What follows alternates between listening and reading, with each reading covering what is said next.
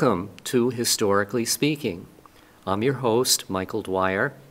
Our topic this time is Around the World in 80 Countries, a Stamp Collector's Perspective, Part 1. Three years ago, I did a show on stamp collecting, particularly featuring my United States stamp album. And since then, I've thought more about what my stamp collection meant to me. And just to go over a little bit of familiar ground, stamp collecting as a hobby has truly plummeted in the 21st century. There are very few people today that I know under 50 who have collected stamps.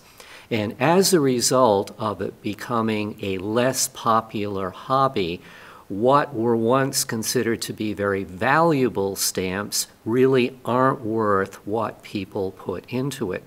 And as I did a little bit of research for this show, I discovered that one person who had a great deal of sway over the stamp collecting his, uh, industry was Henry Harris of Boston, H.E. Harris, who manufactured a large number of stamp albums, stamp approval programs, various stamp products. And this was my second world stamp album, The Statesman, which I purchased 51 years ago for $6.95. Now, if that seems like an incredible bargain, you have to realize that $6.95 all these years later would be about $50. So we are going to begin with a look at several of the reasons why I have just loved stamp collecting. I have four representative stamps here that each in their own way say something about stamp collecting. The first is a mourning stamp from 1935. This was my favorite stamp in my mother's stamp album from the World War II era. It is from Belgium and it doesn't have a name on it. So, how would I go about finding who this person was? I would go to the public library and they would have a Scott's Catalog of World Stamps, which was illustrated. And as it turns out, this is Queen Astrid of Belgium, who was killed in 1935 in a car accident in Switzerland. She was the wife of King Leopold III of Belgium, and just to put her family genealogy in perspective, those of you that saw the uh, recent television program Atlantic Crossing about Crown Princess Martha of Sweden, uh, she is Crown Princess Martha's sister. She was Astrid of Sweden. In the next stamp down, I think most of you would recognize this stamp from Monaco from the 19th of April 1956, which is the wedding of Grace Kelly and Prince Rainier. And Rutlanders are very proud. The Costello family of Rutland is related to Princess Grace. The third stamp down is what requires some deciphering because it's mostly written in Cyrillic, and I would have to have used a reference guide to figure out the identity and the country. So, what we have written in Cyrillic is the kingdom of Serbs, Croats, and Slovenes, because this is what became Yugoslavia after the breakup of the Balkan countries in World War I.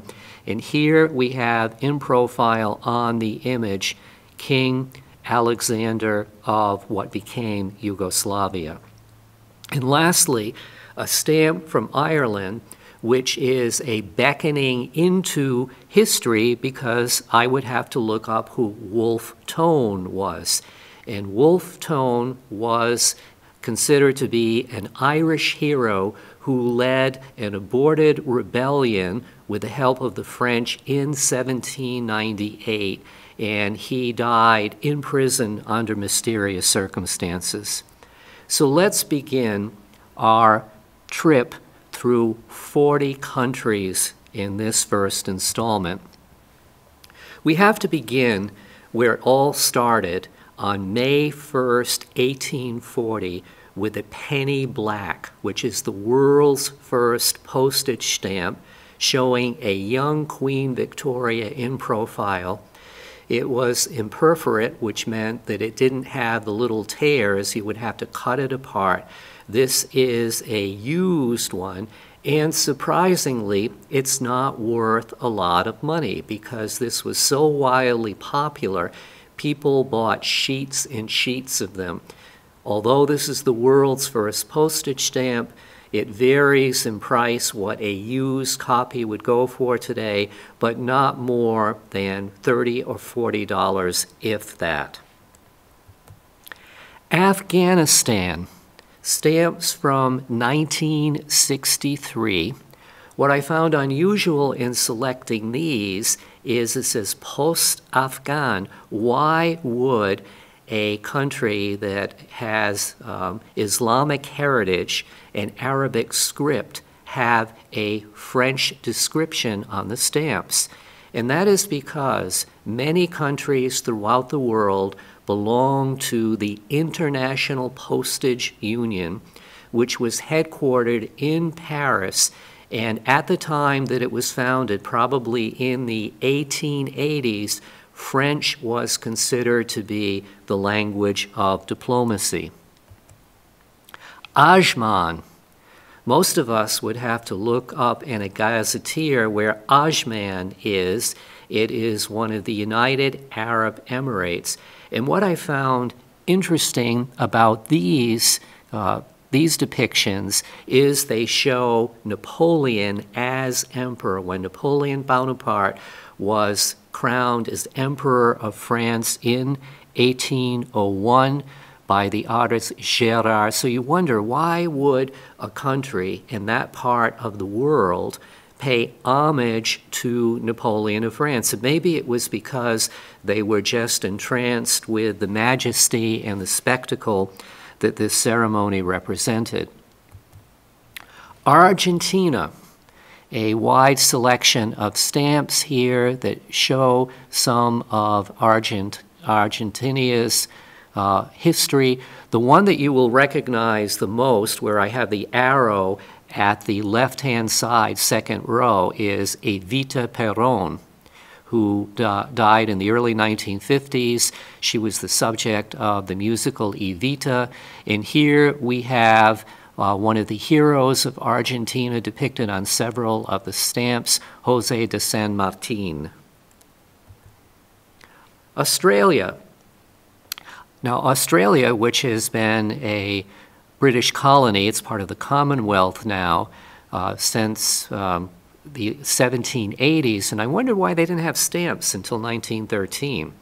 And in the beginning, their stamps were not a particularly striking lot. You can see the map of Australia with the silhouette of the kangaroo, and we have some images here of King George V from the World War I era.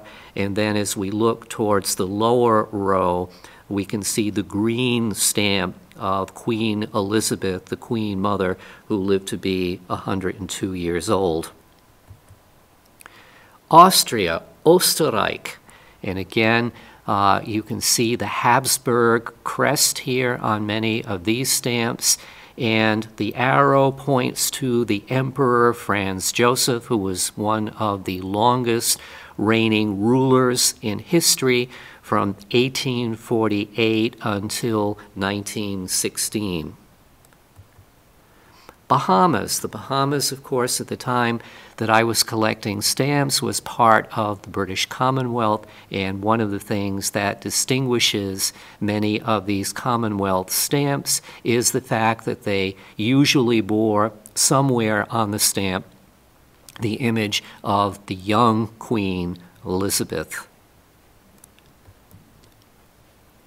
These are stamps from Belgium, And in the top row, we have King Leopold II of Belgium, who goes down in history as being one of the most notorious imperialists for the way that he oppressed people in the Congo. In the third row, we have King Albert, uh, who is his son. He was the King of Belgium during World War I. And in the lower right-hand corner, we have another example like that of Queen Astrid of a mourning stamp when King Albert uh, died in 1934. One of the fun aspects of collecting stamps is that people would often go to the post office and buy stamps for me, new stamps. And as you can see by what I wrote here, my parents, who spent the week of their wedding anniversary in Bermuda in 1973, went to the post office for me and bought these beautiful flower stamps. Brazil. What I find interesting here uh, is the various aspects of Brazil culture, um, which is very indigenous to Brazil, but they thought enough uh, to honor the visit of Queen Elizabeth uh, to Brazil in 1968. Bulgaria. Once again, here you can tell pretty much uh, that the Bulgaria, the name is there. Some of them, uh, the uh, name is in Cyrillic, so uh, the, the first one is Cyrillic, the second one is um, in uh, English script, and these are honoring the 1960 Olympics. Cameroon. Cameroon, one of the uh, French um, territories uh, in Africa. And what is very interesting here is what you see on the top where it says France Libre, because these were issued from Free France during World War II, when Free France was more of an entity under Charles de Gaulle in England because all of France had been overrun by the Nazis. And yet, uh, in France's various colonies, they would issue stamps that would say France Libre. This is a slight variation in my album collection because I bought an album just for Canadian stamps and they were a little bit more descriptive about uh, what where you could put your stamps. And unfortunately, my Canadian album is about 80% uh, empty. I just didn't have the time to continue specializing in Canadian stamps, but I thought this was interesting of the visit of King George VI and Queen Elizabeth to Canada and to the United States in the summer of 1939, just before the outbreak of World War II. And from Canada, King George and Queen Elizabeth made their way to uh, Hyde Park, New York, where there are famous newsreel images of the Queen eating a hot dog for the first time. Stamps from the Canal Zone when it was um, in American territory. And some of the people that are being honored here are General Goethals and Gorgas, who were responsible for the engineering wonder of the Panama Canal. Chile. Once again, uh, honoring some of its national heroes and one of the unlikely Chilean heroes is named Bernardo O'Higgins. Uh, obviously from Ireland, but a very important force in Chilean history as part of the overthrow of the Spanish Empire. And many of the countries in South America that uh, achieved independence from Spain did so during the Napoleonic Wars, when the King of Spain was too busy fighting off the French to have an active intervention in what was happening in the Southern Hemisphere. This is China, And uh, there are many examples that I could have chosen of Chinese stamps, but I thought it would be interesting in the top row to point out to you in the green stamp Sun Yat sen, who was the leader of the Nationalist Party. He is considered to be uh, the founder of Nationalist China after the overthrow of the last emperor. And in the third row, in the lower uh, right corner, we have his son in law, who was the leader of nationalist China for many years, uh, and that we learned him in school is Chiang Kai shek, and uh, more representative of him in uh, modern Chinese is Jiang Jieshi. Colombia and the stamp that I want to feature here is one that is a Pan American Congress, and the arrow is pointing to Ferdinand and Isabella, who, of course, were the monarchs that sent Columbus across the ocean blue. And Colombia is named after Christopher Columbus. Belgian Congo we have stamps from the Republic of the Congo and a mourning stamp. Once again, this uh, is a, another good counterpart to the one that we started with with Queen Astrid, and this is King Albert. Costa Rica.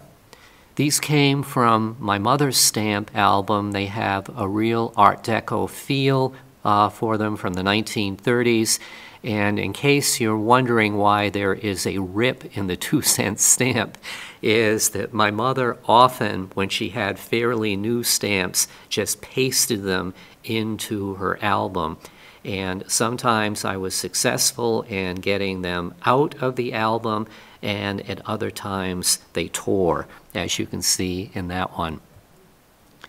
These are stamps from Cuba and quite a variety over many, many years, pointing to the ones that are on the lower right hand corner. This was Cuba uh, before the Spanish American War of 1898, and you have King Alfonso the 12th of Spain, and the little boy who was just a child, seven or eight years old at the time of the Spanish American War, was King Alfonso the 13th. He was the king of Spain until his abdication in 1931. Cyprus. Cyprus, a British colony until its independence. In the top row, we see the inset of King George VI. And then in the lower rows, we see things, examples of Greek artwork and more examples that are indigenous to Cypriot culture. Denmark. Once again, uh, not a uh, a lot of variety here, but uh, in the monarchy of Denmark, we have some images here of King Christian X and Frederick IX, father and son.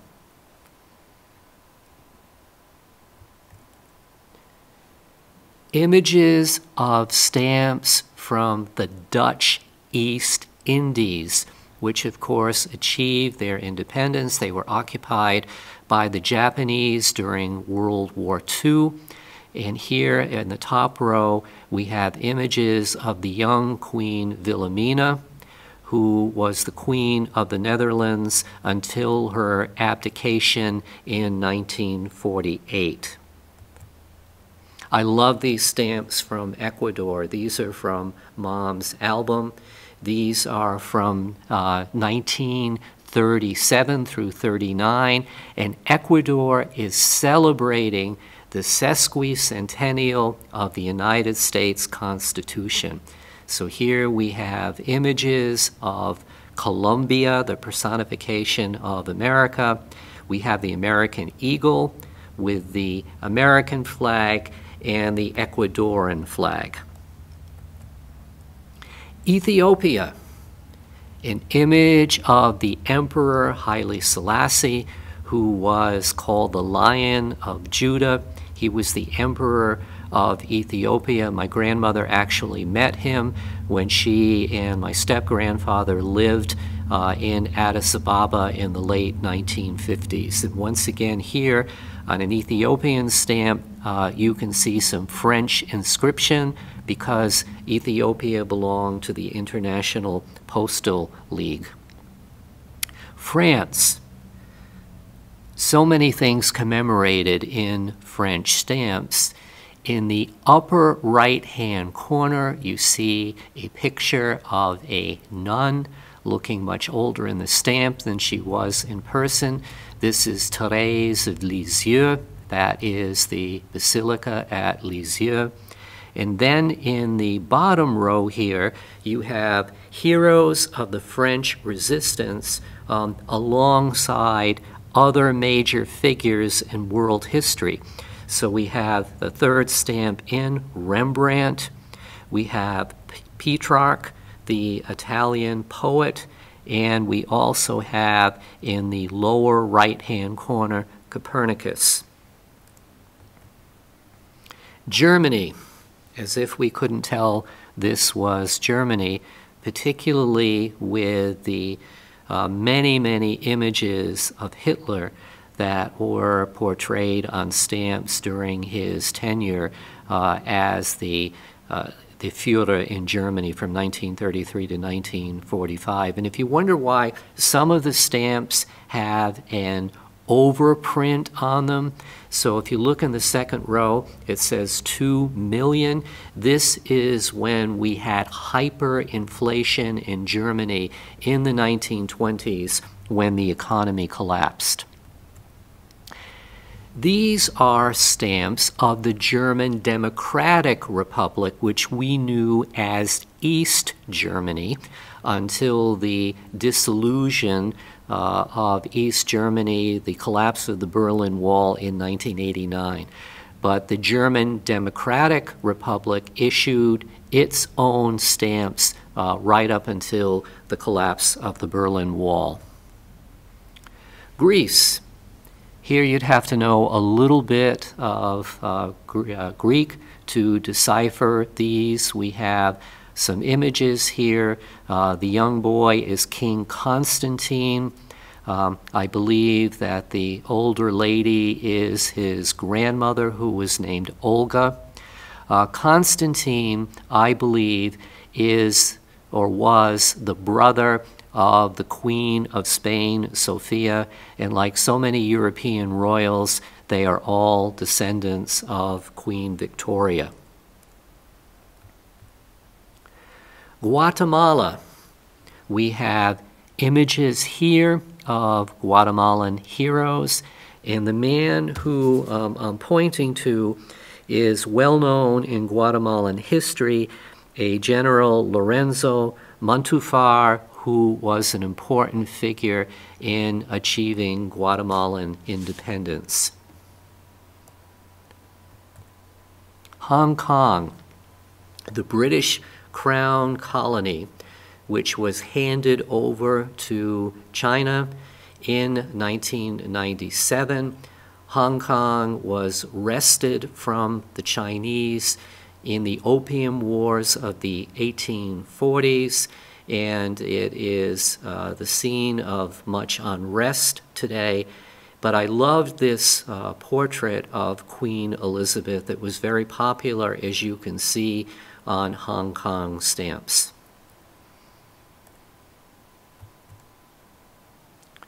Hungary, Magyar Posta. In the first three stamps that you see in the row, we have the crown the historic crown of St. Stephen. And this would have been probably from the 1930s when there was a much greater connection to the history of the Habsburg past. And the man uh, to whom the arrow uh, is pointing is named uh, Ignaz Semmelweis, and he is a great medical hero for the work that he did in understanding sepsis the, the risk of sepsis following childbirth and his uh, the work that he did in achieving um, sterile, sterile precautions during childbirth saved millions of, of lives. And he's not known um, outside the medical community, but uh, because he was Hungarian, he's honored on several Hungarian stamps. India. India, the stamps that I've chosen to represent here go back to the time that India was considered to be the crown jewel of the British Empire. India achieved its independence from Great Britain in 1947. And in the top row, we can see here many images of King George VI, the king and the emperor. We have uh, an Indian figure with a tri headed, I, I, think it's a lion, and then lots of images of the, the outline of the geographic country of India. Indonesia, Indonesia, which was formerly part of the Dutch East Indies, and the person who was the, the president, some would say the dictator uh, of India, he appears on dozens and dozens of stamps, is Sukarno. And you can see under uh, the price designation, one rupiah, it says the Republic of Indonesia. Ireland. Ireland began printing its own stamps when it became an independent country in 1922. Interestingly, the first one that I have illustrating here is a British stamp with the Irish overprint, which would have been issued at the time of the Irish Civil War, leading to the uh, splitting of Ireland to the Republic of Ireland, the 26 counties of the south, and then the six counties of the north, Northern Ireland, that still remain part of Great Britain. Many of the early Irish stamps show the map uh, of Ireland. We have uh, images of the sword, and it was always a trip to various stamp uh, reference books for me to understand who some of these great heroes are. So in the green stamp in the bottom row, we have Joseph Plunkett, who was a man uh, who was part of the Easter Rising in Dublin in 1916, and I believe that he was uh, put to death um, in prison. Israel. Israel became an independent country in 1947, and the early stamps that we see here are honoring ancient Jewish coins.